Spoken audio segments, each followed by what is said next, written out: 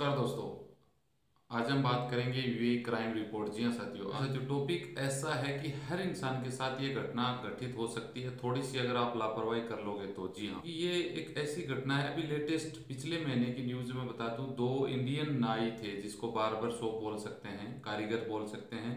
उन्होंने अपने पीड़ित, अपने पड़ोसी का जानकार का दो मिलियन जी हाँ साथियों 1.9 मिलियन दवाई दराम चुराने का उनके ऊपर आरोप लगा है और ये सत्य भी हो चुका है कि उन्होंने चोरी की है। जी हाँ डिटेल से बात करेंगे भाई, चोरी कैसे की, कैसे किया? सिम नंबर का ये लफड़ा हुआ।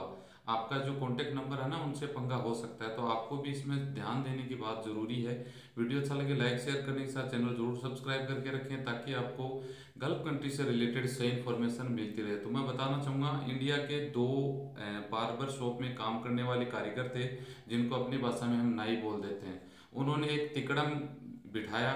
एक्चुअली में होता क्या है कि लोगों को ज़्यादा पैसा एक साथ में सोचते हैं, बस इतना पैसा आ जाएगा, हम इंडिया जाके सेटल हो जाएँगे। लेकिन उनको ये नहीं पता कि आपका क्या होगा? अगर आप पकड़े गए तो। और दुबई जैसी वे जैसी कंट्री में भाई पकड़ना मुजरिम को कोई बड़ी बात नहीं है।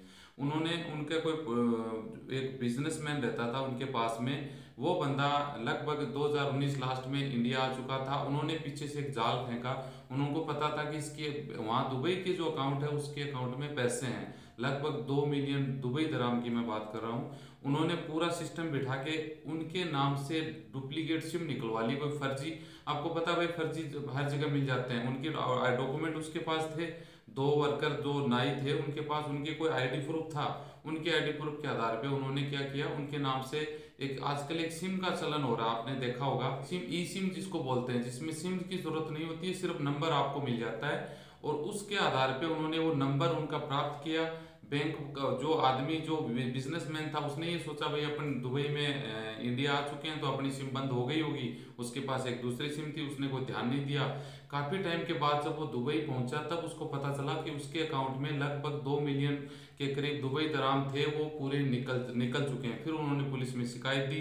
फिर पुलिस ने वहाँ के बैंक में सीसीटीवी कैमरे थे, उनको जाँच की तो पता चला, दो बंदे थे। बंदे इतने सातिर दिमाग उन्होंने लगाया कि एक बंदा वहाँ पे कहा गया, बैंक के अंदर गया, उसकी आईडी क्योंकि उसकी इमरेट्स जो आईडी थी, वो उनके पास आ गई थी, ठीक है? वो कैसे आई, वो तो उनको पता, चोरी करी, कैसे क्या किया? और उस आईडी पे फ़ोटो उन्होंने क्लोन करके अपनी फ़ोटो डाल ली।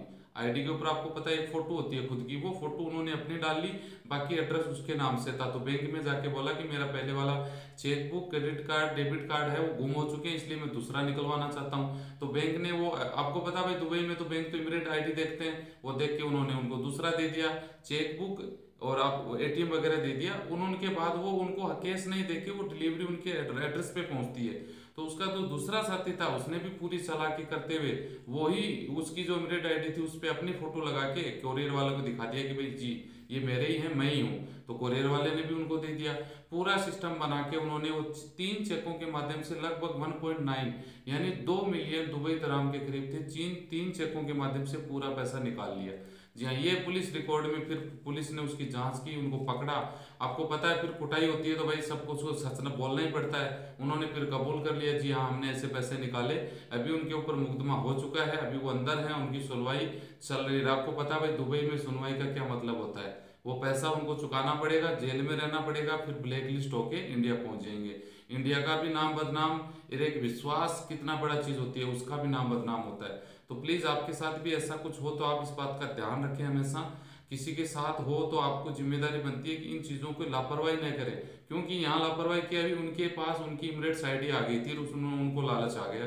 तो इन चीज़ों से बचें, औरों को भी बचाएँ। मिलते हैं नेक्स्ट वीडियो में। अच्छी जानकारी के साथ। जय हिंद, जय भारत।